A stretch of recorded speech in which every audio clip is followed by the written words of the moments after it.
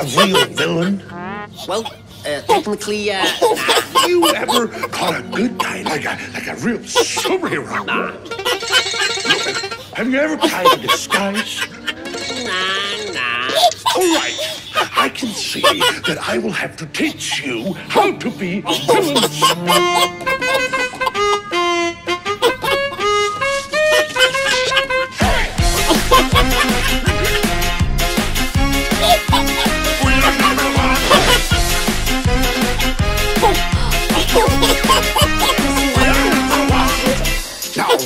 closely.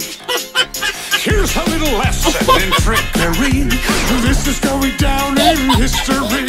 If you wanna be a villain number one, you have to chase a superhero on the run. Just follow my moves and sneak around. Be careful not to make a sound.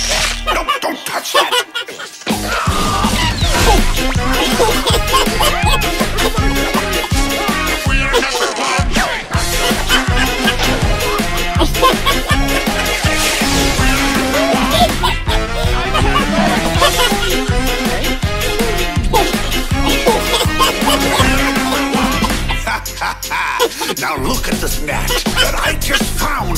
When I say go, be ready to throw. Go! Throw it at him, not me! Oh, let's try something else. Now watch and learn. Here's the deal. You slip and slide on this banana.